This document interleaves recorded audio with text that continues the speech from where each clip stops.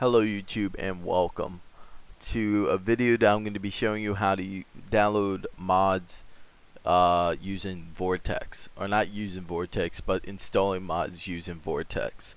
So this is for manually installing mods from either Nexus or some whatever other mod page you get your mods from.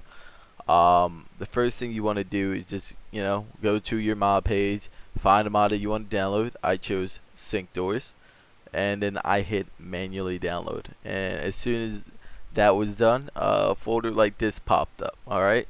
And then what you want to do you want to take that whole folder drop it right into here. And since I already did this it's just simply just replace it and boom there you go. You have your mod now installed. So what you want to do next is click it. And then you go well since I already have the other one it's just asking you to rename it so it doesn't have two of the same file with the same name. So I'm just gonna hit replace.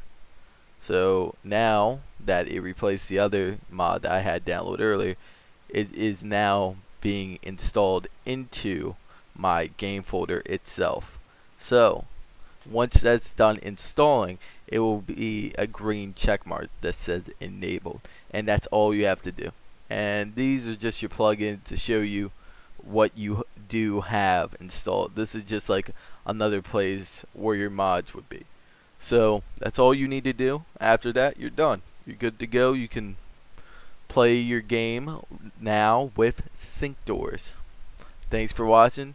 Don't forget to hit the like, subscribe, and comment if you still have questions or if you want me to do a tutorial, on anything else that you uh, are confused with. I'll be more than happy to help.